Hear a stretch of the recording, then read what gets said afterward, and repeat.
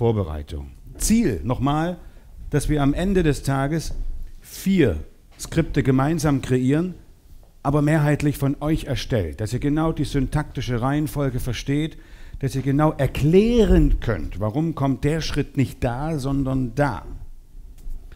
Kleines Beispiel. Thorsten, ich rufe dich an, ich stelle dir kurz die Nutzenmethode vor und du bist mein Kunde, kling, kling, Telefon klingelt. Äh, Guido, bist mal schnell die Sekretärin, Thorsten hat ein eigenes Mikrofon, beide Schalter nach oben, ihr seid online. Also, kling, kling, kling. Du gehst dran, Guido. Fricke. Grüß Sie, Frau Fricke. Hallo, Frau Bayreuther.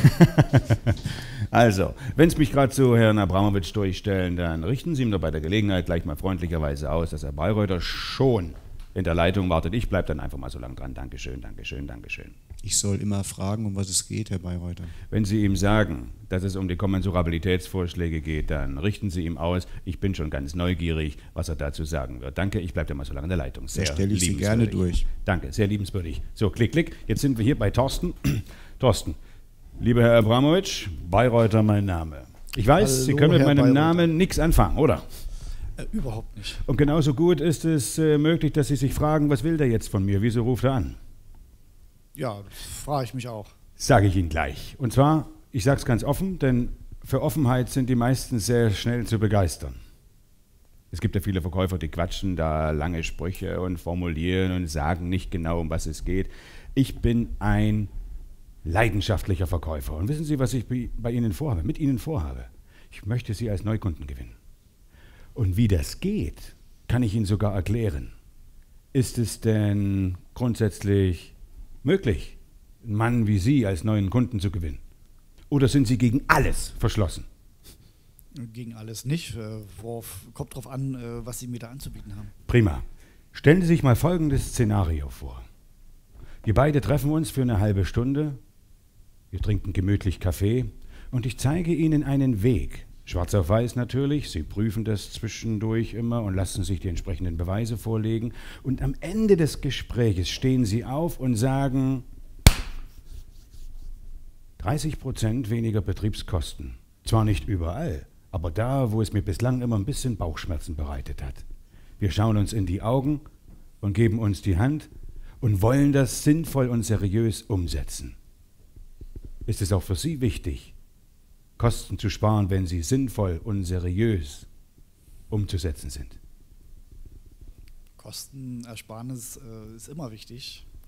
Und äh, ja, wenn Sie mir das bieten können, würde ich das mir schon mal ganz Das heißt, anhören. für Sie ist es von großer Bedeutung, wenn wir uns schon eine halbe Stunde gemeinsam ans Bein schnüren, dass das Blut weiterfließt. Also eine halbe Stunde würde ich mir das schon für Zeit nehmen. Ausgezeichnet. Nur mal so ins Blaue gesprochen. Wir beide kommen an dem Tag und so nahe, dass wir das gemeinsam umsetzen möchten.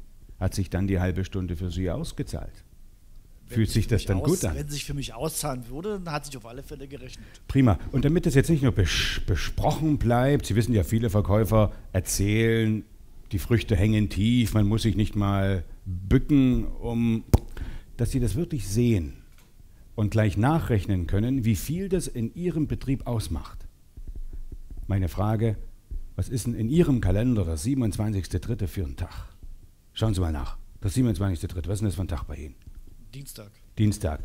Spielen Sie da schon irgendwie irgendwas oder haben Sie da noch Zeit für Geld? Äh, ja, Vormittags, die, nachmittags? Dienstag ist mir nicht so Mittag. gelegen. Ein anderer Tag wäre vielleicht der Donnerstag. Wie sieht es denn da bei Ihnen aus? Defini wollte Sie gerade fragen, definieren Sie anderer. Donnerstag, Moment, muss ich schnell nachschauen. Habe ich nur noch 17 Uhr und 19 Uhr. Sie entscheiden. Ja gut, passt. Was passt? Dass Sie kommen können. Wann? 17, 19? 17 Uhr. 17 Uhr. Gibt es Parkplätze vorm Haus? Reichlich, um der Zeit ja. Okay, alles klar. Sie stellen den Kaffee und ich die Brötchen. Wie klingt das? Sehr gut. Prima. Dankeschön. An welche E-Mail-Adresse schicke ich eine kleine Bestätigung? abramo.aol.com. Habe ich mir notiert. Ich danke Ihnen. Bis zum 27.03. Auf Wiederhören. Auf Wiederhören. Das ist ein Skript.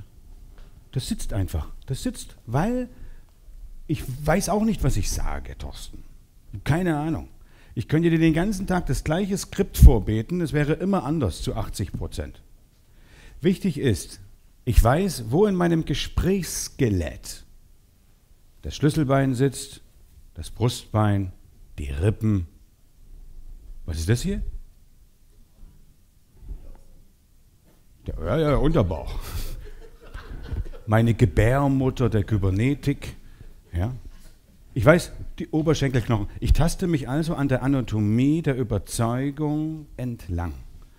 Und jedes Skript ist, also wenn man es unter dem Röntgenmikroskop betrachtet, also da hier Röntgen, wären wir irgendwie alle gleich. Wir, sind, wir gehören ja auch alle einen derselben kybernetischen Spezies an. Doch der Guido sieht anders aus als ich.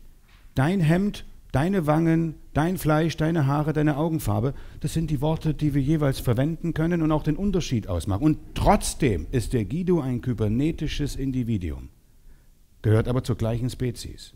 Das Gleiche trifft zu, wenn wir uns die Nutzenkontrollmethode anschauen. Die liegt dem einen oder anderen Verkäufer halt besser. Der will halt eine kleine Story erzählen, weil er sein Produkt liebt und weil das total viel Gas gibt. Und stellt darauf eine Nutzenkontrollfrage. Werden wir heute kennenlernen. Andere möchten gerne eine Meinungskontrollfrage, weil sie es lieben, dass sie nicht nur ein Ja zurückbekommen als Rückmeldung, ein Ja oder ja, super oder ja, schon, sondern weil sie es lieben, dass der Kunde gleich anfängt zu blabbern. Und Meinungskontrollfragen, weil eine Meinung nicht nur aus einem Ja oder Supi besteht, die geben viel mehr Rückmeldungen. Da hat man mehr Informationen, fühlt sich sicher. Andere Verkäufer lieben es, wenn sie eine Bedeutungsfrage stellen, weil sie wissen, Sie können bestimmte Reaktionen hervorrufen.